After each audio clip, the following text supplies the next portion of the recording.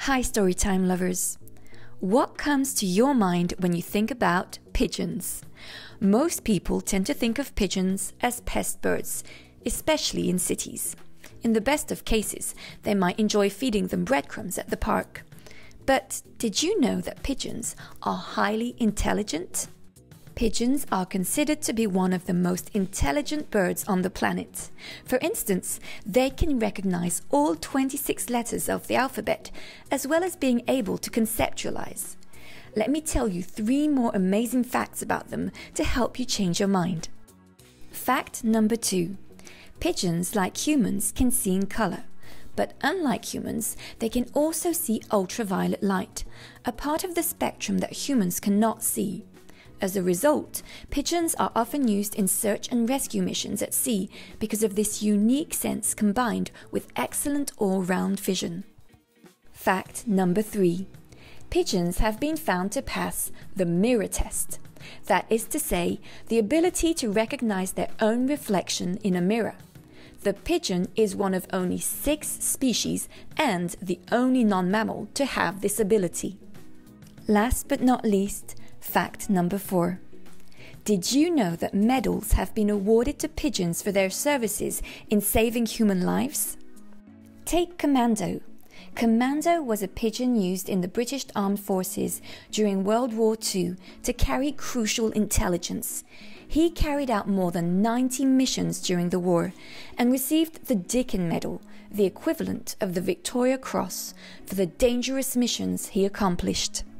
So now you may understand why in today's story, Dr. Coo and his pigeon friends decide they are tired of being treated by people like parasites and decide to hatch a plan to earn people's admiration once again.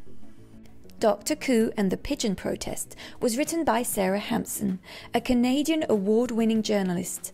And although she has had a long and successful career at the Globe and Mail, this is her first picture book. Have you noticed the beautiful soft lines and muted watercolors on the cover of Dr. Coo and the Pigeon Protest? Well, they were drawn by Kass Reich, a Canadian artist and educator who has traveled around the world from London to Beijing, Hong Kong, and Melbourne. She also provided some beautiful illustrations for Carson Crosses Canada, a sweet and fun adventure of 70 year old Annie Magruder and her dog who set out on a road trip across Canada to visit her sister. And she illustrated What Grew in Larry's Garden, which I read to you recently. In fact, both What Grew in Larry's Garden and Dr. Coo and the Pigeon Protest were published by Kids Can Press, a Canadian owned publisher of children's books, which includes characters such as Franklin the Turtle, which has sold over 65 million books in 30 languages around the world. And now, let's find out how Dr. Coo and his friends set about rehabilitating their reputation in the city. Dr. Archibald Coo was a big city kind of pigeon. He was sophisticated. He knew how to get around. He knew how to land in just the right places. He had favorite perches in the city, the edges of beautiful buildings. He was friends with gargoyles. Statues, heads were better than shoulders. Park benches that offered a view. It's true that Dr. Coo would often look down in his beak in a way that made him seem very serious. But he wasn't always. It's just that deep in his feathers, he was a curious sort. He observed the way of the world as he flew about it. Dr. Coo knew things, and he knew he had a problem. Or rather, he could see that there was a problem with pigeons. One day, Dr. Coo was perched with his pigeon pals on a wire. There was Hooty Claw. He was a young pigeon with recently acquired flying feathers. Alongside Hooty perched Vern Birdman, a shy fellow in a light brown suit. In the pecking order, he was happy to be last. And then in flew Dove Blanchette. She prided herself on her shiny coat, which she kept spotlessly clean. I'm part turtle dove, she liked to tweet with her beak in the air. The conversation started out as it normally did. They cackled about the supply of corn kernels in the park. They nattered about the nearing of winter. They prattled about new perches. But then Hooty Claw dared to bring up something they all had been thinking for a very long time. We pigeons get no respect, he blurted. Those humans down there, Hooty pecked at the air to indicate the people below on the streets, they hate us. They shoo us away. There, there, cooed Vern, hopping a little closer to Hooty and nudging him with his wing. Calm down. Calm down, hooted Hooty. No one appreciates us. I'm the voice of the next generation pigeon, and I'm not standing for it.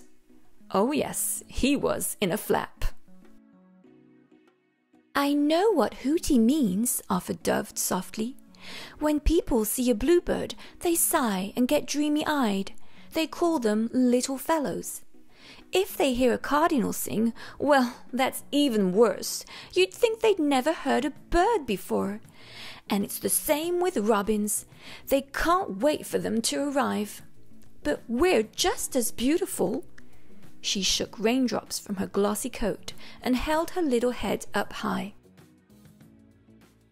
Vern twitched a bit, uncertain if he should say anything. But then he thought about the time a car almost ran him down, on purpose. He recalled the lady who swung her umbrella at him for no reason. Some people say we're rats with wings, he observed, with a gentle sigh. At this point, Hooty, Dove, and Vern looked down the line to Dr. Coo. It's the way of the modern world, cooed Dr. Coo. It used to be different. As the pigeons leaned in, blinking with curiosity, Dr. Coo told them of the dreams he often had while he nestled with the gargoyles high up in the sky. Pigeons were once like angels, he said wistfully, summoning his visions of another time. They accompanied the gods of ancient worlds, they delivered news of the Olympic Games in ancient Greece. They were revered as signs of peace and love and wisdom and beauty. I have seen pigeons in important wars, Dr. Coo continued dreamily, fearlessly flying into danger with notes strapped to their backs. They delivered messages to soldiers in battle they carried medicine across battlefields strewn with injured men. They were heroes. I knew it, cried Hooty, hopping up and down on the wire. I knew we were special. Timidly, Vern piped up again. What should we do, Dr. Coo? We need a plan, cried Hooty. We need to be loved again, Dove sang. Dr. Coo turned his head one way, and then the other.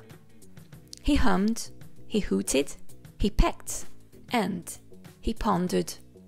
Then he cuckooed his plan into the ears of his companions, and off they flew to spread the word to the other pigeons in the city.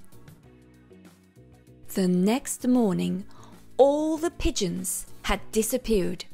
The squares were empty, so were park benches.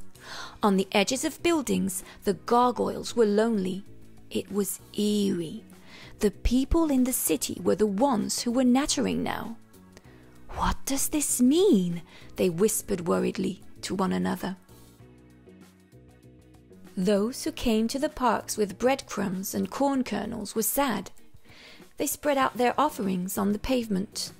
They reached out their arms in friendship, but still no pigeons came. Nothing felt the same. The pigeons had been part of the life of the big, busy city, part of what filled the sky with mystery, with beauty, part of what made the parks come alive.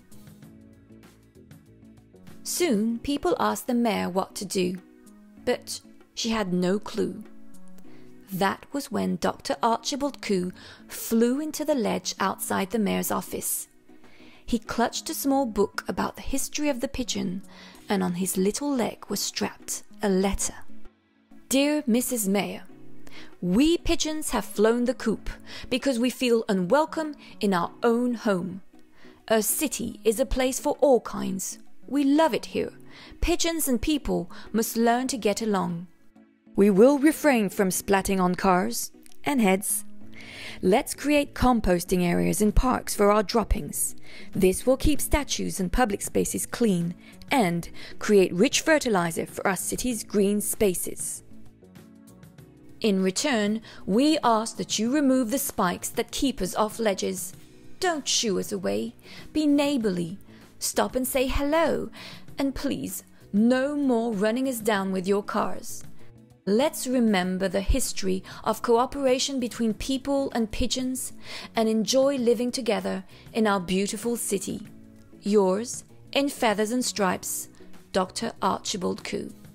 The mare was moved to a tear or two. She shook Dr. Coo's claw. That summer, the city held the first annual Pigeon Parade to celebrate diversity and friendship. At an appointed time, a flock of pigeons filled the sky like sudden laughter in a room. When the pigeons were over the crowds, they released something surprising.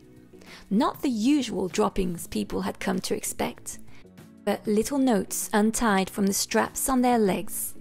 The notes gently fluttered down, landing on people's heads, on their shoulders, on their cars, and everyone eagerly caught them. When you are loved, you can love in return. The end. So, next time you walk down the street or play at the park, I hope you will remember this story and see pigeons differently. In fact, to make sure you remember this story, let's play the Dr. Coo quiz. Are you ready?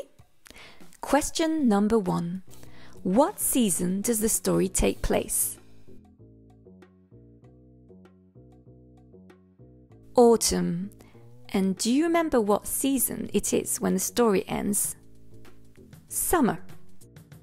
Question number two. Which three birds mentioned by Dove are more liked by people? Bluebirds, cardinals, and robins. Question number three. Quote two periods in history when pigeons were revered. First, in ancient Greece, delivering news of the Olympic Games, and during wars, delivering messages and medicine. And one last question, question number four. What is the message on the notes dropped by the pigeons during the parade? When you are loved, you can love in return. So, how well did you do? Let me know in the comments below. Don't forget to get your own copy of Dr. Coo and the Pigeon Protest by clicking on the link in the description box below. Take care, read on, and see you soon.